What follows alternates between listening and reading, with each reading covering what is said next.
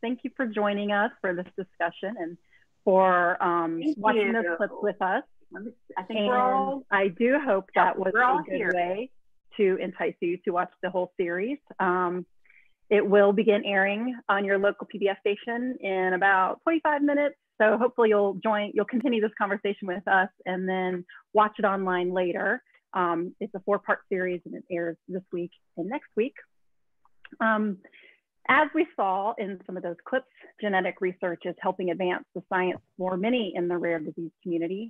Most rare diseases are genetic or have a genetic component. And even though science is advancing extremely quickly, it takes about seven years to get a diagnosis for a rare disease. And a diagnosis does not mean that there is a cure.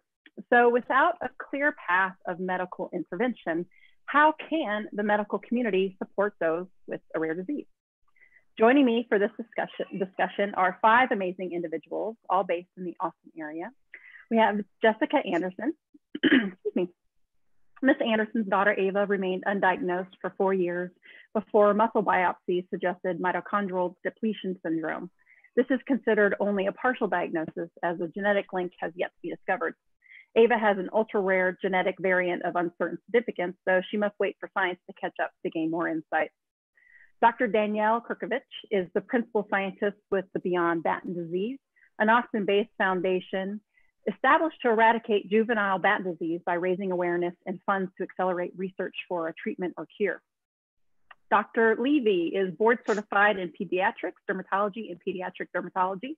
He has many years of experience in patient care, teaching, and clinical research, and is currently a member of the Pediatric Adolescent Dermatology Service at Dell Children's Medical Center and faculty at the Dell Medical School, University of Texas at Austin. Dr. Levy's special interests include genetic, pediatric, general pediatric skin diseases, inherited skin disorders, vascular birthmarks, and clinical research. He has been a strong advocate for patients and the importance of anticipatory guidance as it relates to children's health care. Marilyn Schmeidel, Marilyn's daughter Maddie is 12 and has been waiting for over 11 years for a diagnosis. She's the only known person in the world with her genetic mutation. Marilyn is also a semiconductor engineer at NXP. And Dr. Mary Elizabeth Parker. Dr. Parker is board certified in both neurologic and pediatric therapy by the Academy of Board Certified Specialists, which is unique in the field. Her passion is working with those eh, with undiagnosed and rare disorders, and she serves this community through her role as the medical liaison for You Are Our Hope. In addition to rare disorders, her research interests include movement disorders and autism. So we invite your questions all throughout the discussion tonight. Just add it to the chat box. I'll jump in and start though. Um, my first question is for Dr. Parker. As a medical liaison, you've seen many patients go on many different types of journeys to achieve a diagnosis. When you connect with the family early on, what is often the first step for them? Well, one of the things that I think is so important is being able to collect medical records and get them in one place so we can send them out to different research centers and so I look at this as like throwing out a huge net, like if you're going fishing, um, go and throw out the net and then we're going to pull it back in. And so we're going to take your records and we're going to send them to NIH and TGen and a lot of the other wonderful research projects. We work with Broad Institute um, as well in Boston. So uh, that that would be the one thing I would say that we do and uh, we help people do.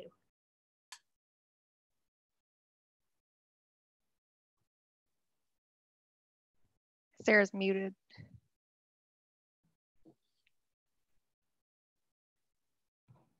Technical difficulties, just like in an in real life discussion. Thank you. Well, I was um, trying to be short, and, and then I was like, and nobody's talking. you were so great. we, we were silenced. Um, but I think you you bring a good point that um, sometimes starting with something simple as just uh, collecting medical records um, there's also a lot of social emotional needs of families grappling with undiagnosed conditions. Um, so Jessica, you're a parent and you advocate for your child. Um, where do you find support um, for your family? Uh, we um, actually, um, every month we try that we can, we try to join the family meetings for You Are Hope. It's been a wonderful resource. It's been so great, not just for, you know, for me as a parent, it's also great for my daughter to connect with you know all kinds of other fun individuals um, that have a variety of different conditions but it's just um, finding solidarity and there's nothing like being able to connect with another parent who just understands this journey. And i don't know that we would be at this point in our journey um, if it wasn't for UR Hope. Um, it was meeting another parent. Her daughter had a very similar presentation. We got together we started having a conversation. And she told me you know about this one particular doctor.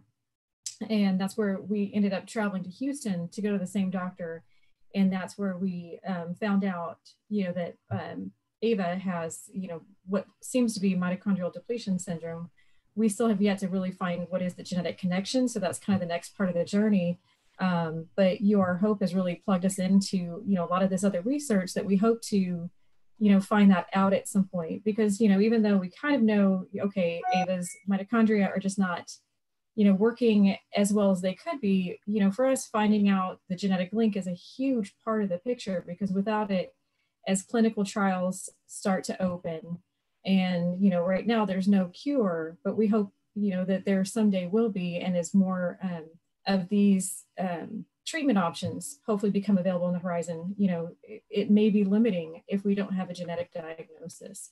Um, so just, you know, parents are just such incredible researchers and I know that I've had many conversations with Marilyn and, you know, just kind of the best think tank you could imagine. So we're very grateful for UR Hope and, and other parents that are just willing to, you know, walk this journey with us.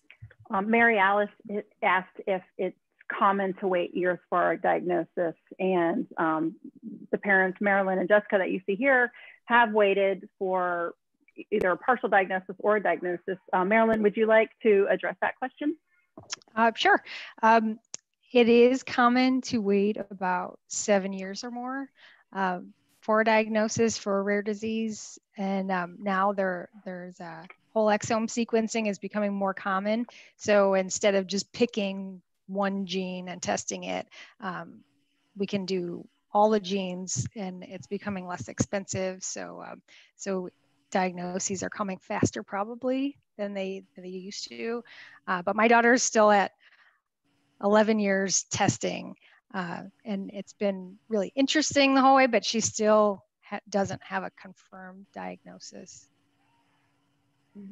I um, can speak to my family's journey. We very, very early on, um, were, were we were connected with Dr. Levy actually. And on our second visit to his office, he said, um, he wrote, I remember he wrote down the name of what he thought um, our condition was. And he said, there's no cure, but there's a very strong community. And I heard that probably in the first couple weeks of my child's life. And as I've met other parents and people in the rare community, I think this is a very um, rare instance. Not many people experience the, not many people are connected with the community as early on as I was. And so I think it's really helpful to have these kind of conversations so that um, medical students or other people understand that, that the, there's so much value in patient communities because you can talk with other people and learn so much from other people. So Dr. Levy, my question to you is, how did you, how were you introduced to the idea that patient support can often come from outside the walls of a doctor's office? Well, I mean, first and foremost, as I tell all of my trainees, um, uh, probably one of the most important things I can convey to them, regardless of the level of training, is what they don't know. Uh, and, and the flip side to that is where they go for answers. And, and I'll tell you, I, I think for any of us in life, regardless of what you ultimately end up doing, um, it, a lot of that is driven by the mentors we've had. And I will tell you very early in my training, I had wonderful mentors in clinical and laboratory genetics, um, pediatrics in particular. And it was very, very clear from the beginning that uh, with conditions such as we're talking about now, um, engaging uh, patients and families in support groups, uh, if those don't uh, exist, having them, helping them really create those support groups Um, and uh, and it's it's just totally invaluable. And and I think um, you know, as I mentioned to uh, my colleagues here on the um, on the call with me, uh, one of my you know favorite essays is the for the care of the patient that uh, that uh, Francis Peabody wrote in 1926 regarding, in fact, the um, the the intent of caring for a patient, and uh, and and again, it's trite, and it's repetitive, but it is about the patient. Importantly, though, as Sarah pointed out, uh, a, a, patient within a family, while one person impacts the lives of everybody in that family. Uh, parents, in the case of children uh, with conditions, but also siblings as well. Uh, so uh, I think we're all in this together, and, and it's something that I really relish in what I do for a living.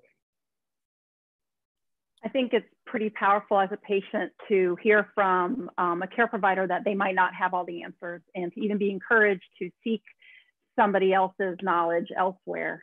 Um, Dr. Parker, you also work with students. Um, how do you instill this um, philosophy um, with them?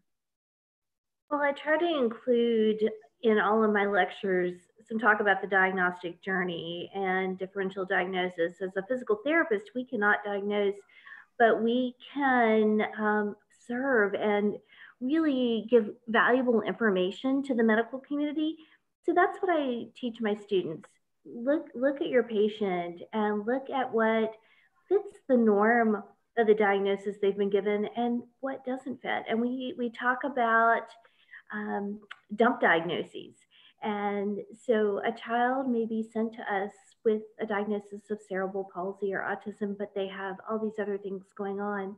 And how do you appropriately refer back to the physician and have that discussion? And so I do that with my students.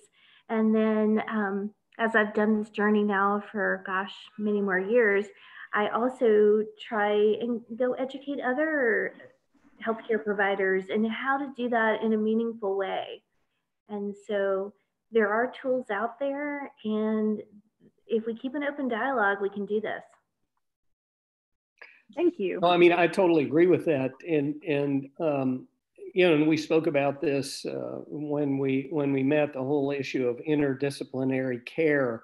And as you said, and you know, when I circulated the curriculum of the medical school, they have this thread throughout all all years of training um, as you do uh, within your program that's entitled interprofessional education. And mm-hmm. and all that means quite honestly is that we're all in this together. And within that cohort it's it's the patient it's the parent it's the physical therapist it's the physician. Um, it's it's uh, Danielle as the scientist. Mm-hmm. Um, it's people in every discipline who might enter into the care of an individual with whatever the condition is, and it's not about any one of us, other than perhaps the patient we're talking mm-hmm. about at the outset. Yeah. Dr. Kerkovich, I, am interested in your opinion or observations as a scientist, but you also work at a patient-led um, organization. Um, so can you give us some background about the organization and how um, the patients became involved in seeking their own cure? Absolutely. Um, so I trained as a neurobiologist, but I work at a nonprofit. And the nonprofit I work at is Beyond Batten Disease Foundation, which was founded by Craig and Charlotte Benson after their daughter received a diagnosis of Batten disease, which is a rare genetic fatal illness. And the Bensons, uh, just like more and more stories that we're hearing about, uh, created a groundswell among their community that said, this is not acceptable. And we are going to do what we can within the time and, and the communities we have to change the course of her disease.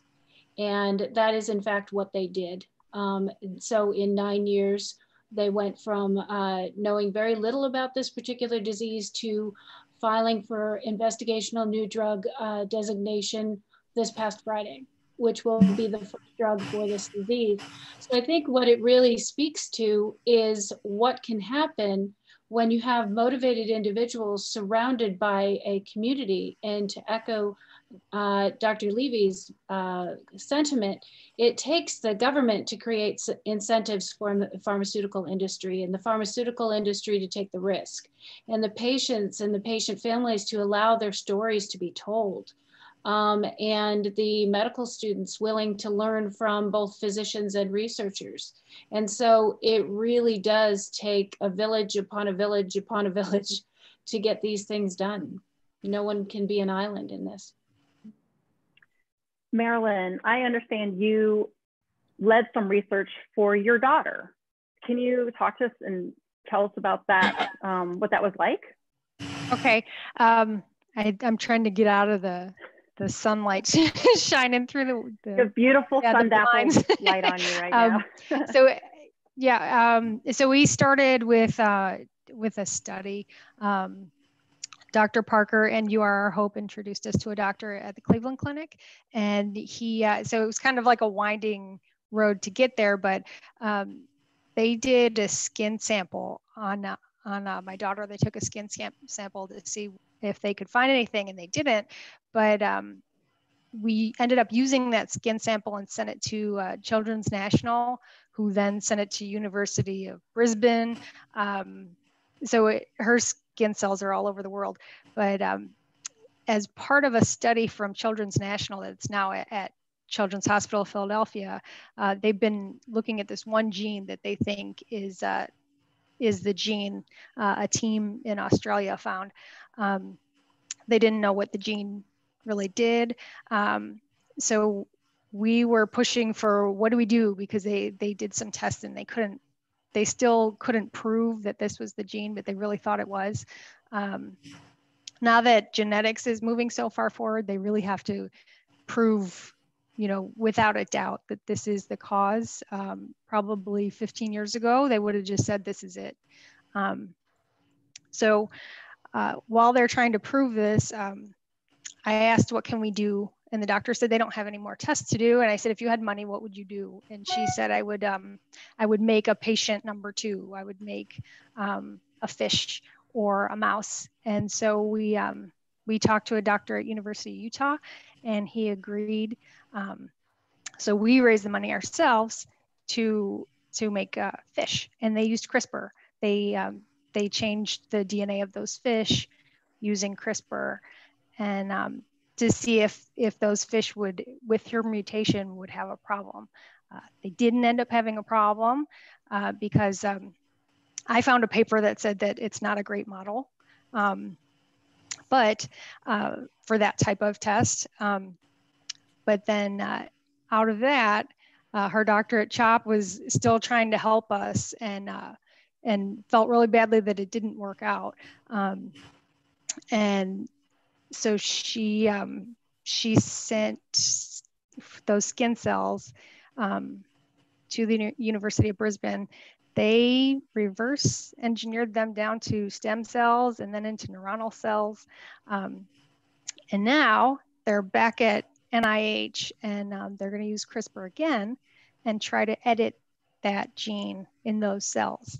And if they can, the, those neuronal cells don't work correctly, um, her skin cells worked fine, but once they backed them up and made them into neuronal cells, like like kind of pseudo neurons, uh, they had a problem.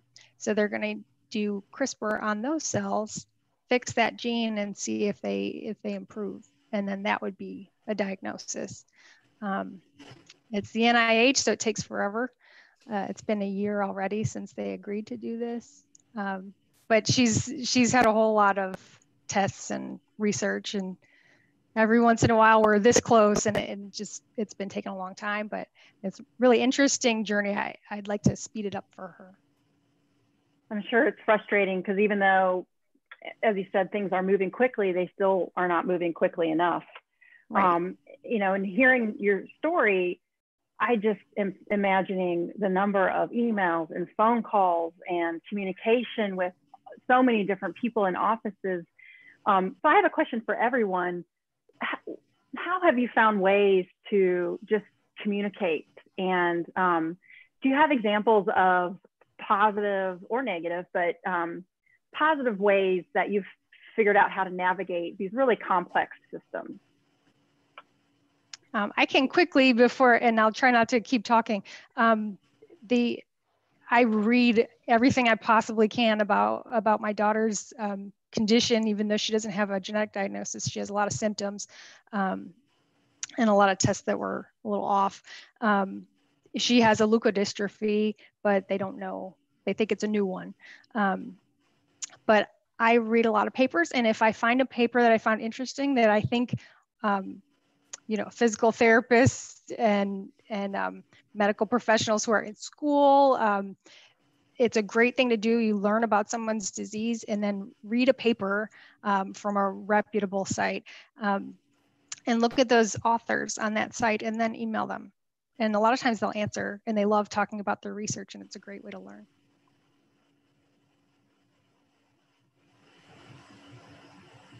Well, I mean, I, I will tell you, it's it's tough, and and I think it requires um, for me a lot of time the um, undying motivation of parents. Um, I, will, I can't tell you, unfortunately, how many times with um, with dear uh, electronic medical records, you know, you may think, boy, what a salvation that is. But what, what I find happens in that regard, some wonderful intent that I might have or a colleague might have to pursue something that's buried in a note that then you forget about and it's two weeks, two months, two years later, and, and you forget. Um, I, I, think depending on the problem, um, I, again, I think it comes back to the, you know, the patient, if old enough to take care of his or herself, the parent, um, and then I find uh, even when I collaborate with with some of my scientists who don't see patients, if I've sent them material from a patient to study at a molecular level, um, that does take time, as you all know. And, and, and then I, I keep coming back to the families trying to remind me, not trying, they do in fact remind me uh, that I need to contact my colleague. I haven't heard anything. And it's like, oh my God, I forgot. I, I just think it comes back to this um, community, as I think everyone hears again and again with this discussion. Um, and, and people shouldn't be shy. I mean, I'll tell you, talk about reading literature on your child's condition. Um, you know, families will call and say, I'm, I'm apologizing. I went to, you know, Dr. Google and I found this. I have colleagues who say they discourage families from going to Dr. Google. I say that's ridiculous. They're going to do it. They should do it. It's our job to filter that material. Um, and so I, I just, how's that for a non-answer? But I think it's, I think it's, it's tough. And, yeah. um, and, and again, I'll have to tell you in all honesty, for me, um, it always comes down to communication and just being very open and, and honest between each, each other. And if I could echo uh, Dr. Levy's sentiment, some of our best research leads are from the families themselves. You know your kid and you know yourself. And so we definitely learn a lot. And spend more time on really good leads from families than than rabbit trails from other things. I think um, it's actually an exciting time to be in patient community because um, some of these communities, such as um, the one I'm involved with, CLOVES syndrome communities, actually initiating research and finding funding and not waiting for other groups to do this for, for us. And these groups are, and we're able to do that and be empowered in new and different ways. Um, and it's a, it's an exciting time, but it, it is, it can be confusing and overwhelming. And um, these, these advocates and these trusted, you know, care, care providers that we find along the way are so invaluable. So we have a question from the audience. Um, Michael asks, uh, can cloud or distributed computing systems be used or are they being used to help diagnose rare genetic disorders, similar to how they are used to solve complex mathematical or astronomical questions. So I definitely have to um, punt to one of our fine panelists to answer that. Danielle, I'm guessing you might have some knowledge in this area. Yeah, we do have, we've got had some really fantastic success with some of these prize awards. Uh, the one that comes to mind is Innocentive, and it's a crowdsourced method of throwing a scientific question out there to any community and saying, listen, we're having trouble with this. We don't understand how the protein folds. We need people to work on this project and, and fold proteins until it makes sense. And so there's been a, a great uh, amount of activity in creating algorithms and using uh, cloud-based um, uh, communities to answer some scientific questions, some really big ones.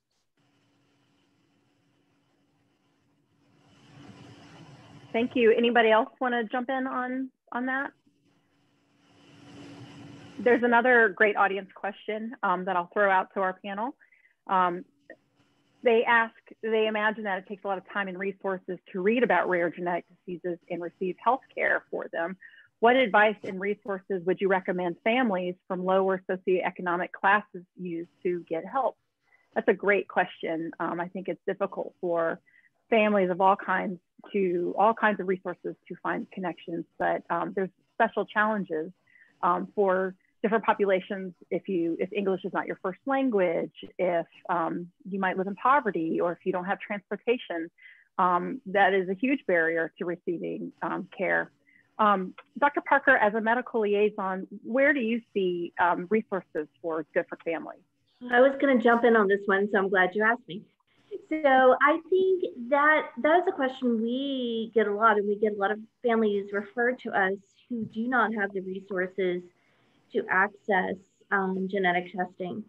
And so the first thing they need to do is their primary care, whoever they're with, ask them to contact us or contact um, a local parent health group. So, for example, in Texas, we have Texas Parent to Parent, and I don't know how big our audience is tonight, but most states have a parent to parent organization, and then they can help find local resources. You Are Our Hope is out there. We take care of uh, individuals throughout the country and outside of this country, so we're happy to help. Um, I hope we don't get like 5,000 like um, intakes tonight, but um, you need to access your resources and there are people out there and we will find people who speak your language and we will help you find um, access to to testing. There are so many studies out there and so many groups that are working with genetic testing to make it affordable. And so it is not unattainable. The problem is connection, and we can't do this alone. And that's what I say over and over again. UR Hope is one group, and there are many throughout the country and the world that we partner with. And so just remember you're not alone. Reach out to one of us and, and we'll figure it out. And if not, we'll help you access another group to help you. Yeah, and to, to back up that comment, um, you know, there are 250,000 uh, nonprofits in the US. And yeah. so that's kind of a striking number. Um, but what it is is what what we're saying by seeing so many nonprofits is you really have dedicated communities that want to provide that information. Yeah. So what I would say is that in this instance, Dr. Google, Dr. Internet is very good. Um, but it's the same kind of uh, way that you vet anything else. Look for a foundation that has a charity navigator rating, uh, GuideStar rating, uh, look for uh, whether or not the information they put on their website is referenced. Do they send you to uh, the Mayo Clinic? You know, uh, do they cite that where they got the information? And so there are so many nonprofits that are so good at breaking down complex information so that you can understand it and then sending you in really useful directions. And, and I, I, will second that as well. And I'll tell you from the from the family support group, the, the disease support groups, broadly stated, uh, that is a huge function of their operation. And and I'll tell you, for years, which with each of the organizations that I've been involved with, you know, from a language perspective, particularly in this part of the world, Um, some of the materials have, in fact, been translated to Spanish, for instance. Mm-hmm. There are families who don't have computers, and I will ask people that. And if they say no, I and then ask, is there a library in your neighborhood? And more often than not, there is. And the libraries certainly have computers for use by the public. And, and again, I think it's, it's something that each of us and then other parents um, can help guide these people to the resources that they ultimately need. Keep pushing. And, I think that's a, a good message. And in addition to what has been shared too, a lot of the specialty groups, there is a social worker that is willing to kind of come alongside these families and can kind of help out. And even at Dell, um, uh, Dr. Levy had mentioned the library. At Dell, there's actually a, a library that's inside and there's a dedicated librarian that's willing to help with medical research. I know I had a very specific question and, you know, this librarian, God bless librarians, they're amazing you know, she did this query and gave me all kinds of different resources of places to go to. Um, so it's kind of taking advantage of some of the resources that are there, and that's very specific to you know here in Austin. But you know, there are so many dedicated social workers that really know different groups and different ways to to plug these parents into people do seem very willing to share their knowledge or help out. Um, sometimes it's just hard to know what words you need to use or the question or how to form the question or who to even ask, who to call in the office to, to talk to. And sometimes those simple, they, they seem simple, but they can provide the most frustration. Um, I think we probably should talk about our current at-home situations right now. Um, this event as wonderful as an experience as, as we're having right now, um, originally was planned to be in person. Um, thank you, Texas State University, for um, lending us your event space on your beautiful campus in Round Rock. Um, although it's enabled more people to join in that don't live in the Austin area. Um, but I think I know my group has had several um, online discussions um, I've seen that in the, for different patient support communities, um, just weekly chats, um, just to have people have a, an opportunity to talk with other people who really know what they're going through. So are there lessons that um, we can learn during this pandemic and our new stay-at-home lives from the rare disease community? Um, Jessica or Marilyn has any of this, any of your past couple years um, and your preps, that all the, the work you have to do to keep your ch ch children healthy, um, has it prepared you for what we're living through now? My friend Glenda, she she did this post. She's like, basically, right now we're all living the rare disease life. You know, we have we don't have a cure you know, there's um, the need to kind of shelter in place, you know, especially flu and cold season. That's always a big thing for us because what seems like a little small cold is usually a hospital stay in our world. Um, yeah, so I think in some ways we are always expecting the unknown. Ava could be fine in the morning, in the evening, you know, she's spiking high temperature and we're we're at Dell or whatnot. And um, so in so many ways, expecting the unexpected and we never know what tomorrow is going to look like like i think in some ways we're like okay there's you know changes that we have to make but we've learned along these you know last couple of years of how we just have to be adaptable and this is all about adaptation right now.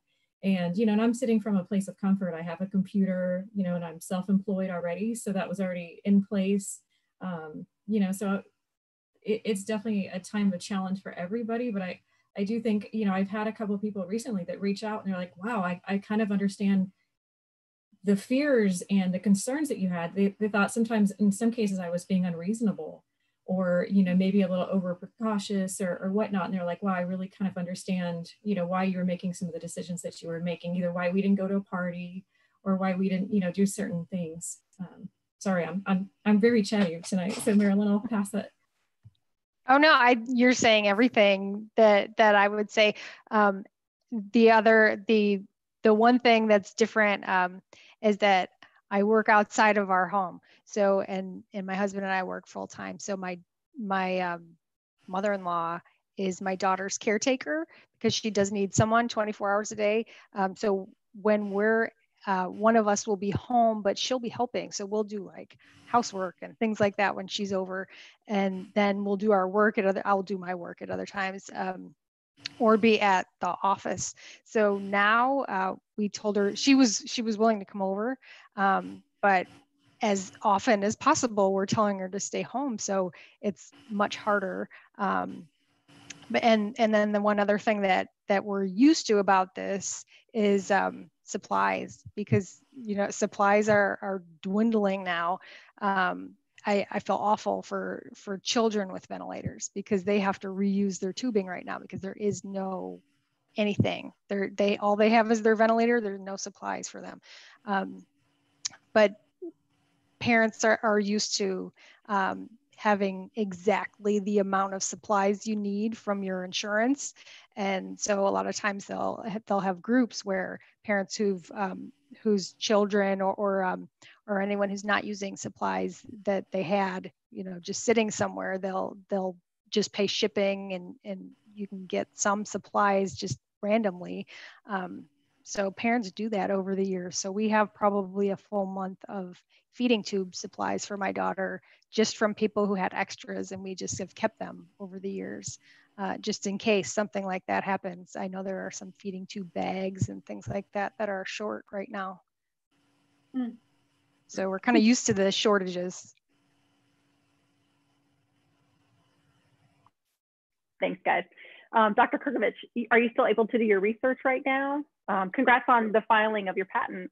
The, uh, thank you. So the um, it's it's a new investigational drug uh, approval that we're looking for. So we want to go into trial. Um, we have the patent, um, but what I want to say is, you know, right right now we're we're shutting down laboratories left and right um, because people cannot get in and take care of their animals and do their experiments. Um, it has created a situation where there's a full stop in our research, um, but at the same time, there's there's no shortage of work to be done. So what is in turn happening is people are spending more time on the publications that perhaps wouldn't have come out for two months, they'll come out in a month. Um, collaborations that were put on the back burner and said, okay, we'll talk later, we'll talk later, are now happening through more and more Zoom conferences. So it's it's not a stop, it's a shift for us. And I think at the end of the day, we're going to be just fine. It's just going to iron out. Yeah, and that's that is so true. I mean, you're well aware, uh, Danielle, about the the impact on basic science labs. I mean, that really has come to a screeching halt, and mm-hmm. And uh, but I will tell you the the arena of clinical research, which is uh, most of what well, it's all of what I do. Uh, that too has had the brakes put on, and it really it, it you have to come down on a case by case basis with a given study, uh, thinking about in my world a child and potential exposure of a child who may have a compromised immune system coming into the clinic to get a a, therapy that is not in fact proven uh, mm-hmm. and may in fact be compared to a placebo or dummy drug to get to the point where you find something that in fact does work. So it, it really has uh, created um, uh, a, a, very interesting, quote unquote, very challenging uh, environment. But as Danielle mentioned, it, on the other hand, has created far more conversation between people than usually exists in many arenas. Yeah, I, I think it's going to be, I, I know this sounds strange, but in some ways it's going to be a good thing. All of this new collaboration and and speaking to one another instead of being, in, a sense, uh, researchers are now less isolated because they have more time to talk to each other. Dr. Parker, um, how are people in your world dealing with um, the COVID-19 pandemic? Well, I think Jessica and Marilyn spoke to it. I mean, this is the life that they always live about protecting their children. And so what we have seen, um, the, the emails, the posts I get are, this is our life every day. And maybe people will understand it a little bit better when we protect our children or our adults in maybe a little hyper vigilant way, some people might think.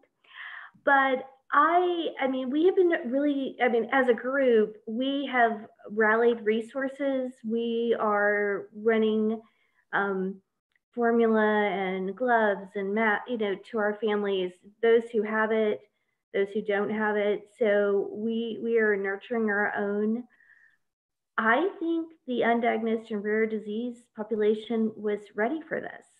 And that sounds awful, but I think we were ready. And I just am so proud of how our families have embraced this. And there are, of course, um, different um, risks and challenges. So at least we can be prepared in some ways um, for a time that's very hard to prepare for. Jessica, would you like to jump in?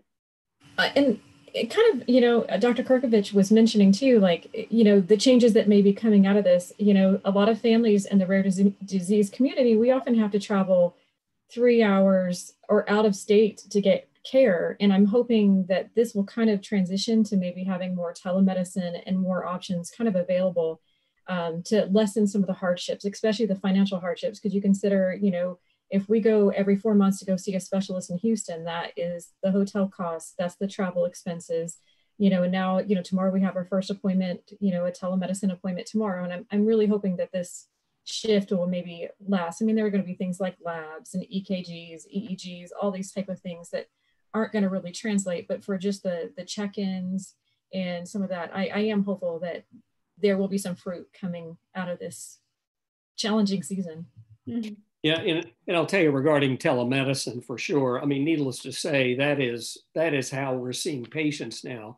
And I mean, I started doing during. I mean, I came here from Houston and started doing telemedicine there in 2005, and and it was for a very specific population there. But certainly now, uh, it's done much more broadly. And and to your point, Jessica, particularly with the complex uh, patients for whom travel is an additional hardship, many times it is just not needed. And, and a lot of that absolutely can, and I would argue now should be handled remotely, uh, regardless of where we are. The lab is a whole different issue, um, but that can certainly be overcome as well. And telemedicine can also op, uh, open new opportunities for people who don't have who don't live in an area where there are a lot of specialists. Um, if you're in a rural mm-hmm. community or um, if you have a rare disease, there might be only a handful of people who even know or have ever seen patients with that rare disease. So getting face-to-face access is very, very challenging. Well, in um, fact, Sara, I'll tell you that was the original intent, period in fact, that was the only way it was allowed, mm-hmm. is if somebody was in a rural location. So when I started in Houston, I I ended up convincing people that the Woodlands, for God's sake, there's nothing rural about the Woodlands, that that was present the hardship for people to come to the Texas Medical Center. Right. And the traffic worked. alone, the traffic alone. yeah. It was absolutely ridiculous. But now, I mean, it really, it is the thing to do regardless of where you live, period. I just, uh, Sara, can I just back up Dr. Levy? I totally, uh, I'm so supportive of this. I remember when I first came to Texas State years ago to, in 2005, we have this big telehealth uh, lab and we were all about doing like remote PT, especially for like cardiac PT. And we were squashed right and left about why would you need to do that? Blah, blah, blah. Well, they live in Bastrop. They live in a rural, they can't get in. And all of a sudden now we're seeing this blossoming of telehealth. So uh, what I hope comes out of this and I just want to reiterate what he's saying. It is let's use this for the people we can use it for. It's not going to work for everybody. No, you can't do a lab draw that way, but you can you can do some really valuable treatments. And I can't do every PT treatment that way, but I can do some. And so I have a child who's on a ventilator right now. He can't. I, I, I am not going to go see him in the home for for lots of reasons, but I'm able to work with his mom and his nurse, and we're getting great things done through through telehealth. And so I think in the end, this is going to have a great a, great outcome. I hate how we got here. I, re- I really, I'm hating it personally, but I think we're learning a lot as the medical community. Mm. I think that is really uh, such a valuable lesson for us right now and some hope that we can hang on to. Um, it's been great having this audience um, asking questions and thank you for your interaction. A lot of our audience are medical students, so thank you for joining us um, on your evening. Um, we really wanted you, of those of you in the medical community, to come away with um, a better understanding of how a patient how their lives, their day-to-day lives are, um, what it's like to, to interact with the medical community, what it's like to live with so many unknowns in your life. Um, so my question for the panelists, um, I'm gonna start with Danielle because you're at the top of the screen next to me. Um, if you could give some advice to people starting out in their as a medical student or in their health career, what would you tell them to empower patients or to have to help them have a better relationship with their patients? Yeah, I think that that there has to be an openness and, and a willingness to listen to your patient as being the expert in his or her disease. Um, you know, they may not be an expert in multiple sclerosis, but they're an expert in their multiple sclerosis. Um, and so that communication has to be really important um, to embrace uh, the interdisciplinary um, way of treating your patient. Your patient is not one symptom or one diagnosis. They are um, a very multifaceted individual. Um, when it comes to rare disease and rare disease advocates such as parents, you will never find more resilient, flexible people ever. Um, and then also, I think one of the things that we need as a community and uh, in our interface with uh, physicians in the medical community, not just physicians, to really focus on is finding ways to provide families and affected individuals with not just an interdisciplinary team, but a tour guide. You know, how, what to do first, what to do second, what to do third um, just a tour guide as they go through this complex, crazy situation that they never knew existed before they were in it knee deep. Marilyn, what advice would you like to give medical students? Um, mostly just give your patients hope. Um, there, it's so easy. Um, to see different uh, different doctor. My daughter has leukodystrophy. Uh, we think um, it looks exactly like a leukodystrophy. We just don't have a genetic um, mutation that that we've proven.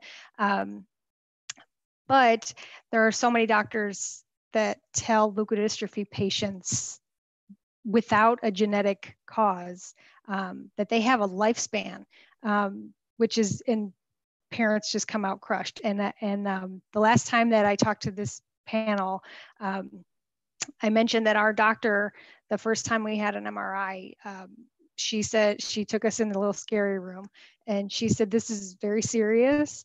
And uh, and then she said uh, we do see patients that have this issue and, and um, they can get better and we don't know why.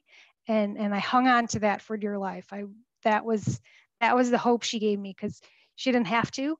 Um, so if you can be a cheerleader for your patients and just support them, uh, it'll make a whole world of difference because I immediately said, okay, I'm going to figure out why there are kids who get better. I want to know what they're doing and and what they have because maybe she has it. Um, so just just be that person who um, who doesn't say your child is never going to do this. You can be the person who says, we're going to take everything that your child has and use it so that they can be the best they they can be. Jessica do you have any comments? I love that just you know the idea of just putting as much hope there as possible but also um, one of the things that we have really appreciated about several of our specialists is that they go uh, out of their way to make things easier on ava in particular. Um, she's got a bone marrow disorder um, as part of her as a part of her overall condition, and we have certain doctor uh, a certain doctor that he will help coordinate some of the lab draws so she doesn't have to get poked. I mean, just recently she just had a kidney check, uh, kidney checkup where she actually had to have an IV. And so he put the lab work in so that way she didn't have to get poked in two weeks for the lab draw he had wanted to do. So he was willing to kind of go above and beyond just to make life easier for her.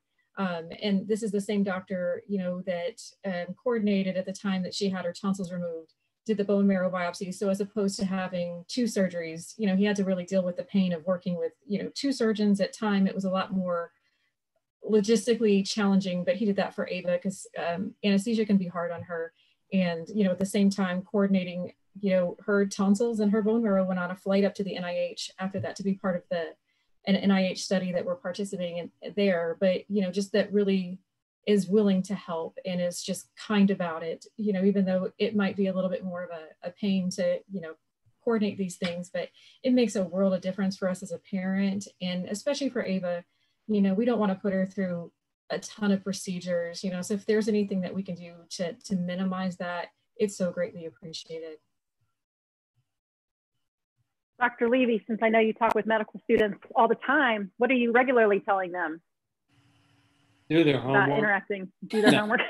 no, no. I mean, it, it's you heard it all here. I mean, you really have. And I think one thing that hasn't been mentioned, although I think it's implicit in how you all interact with us, and uh, and and and i I'm putting you, Danielle, in the us as well, and how we interact with you all and that is ask the question what is it you're looking for? What is an important question you need answered?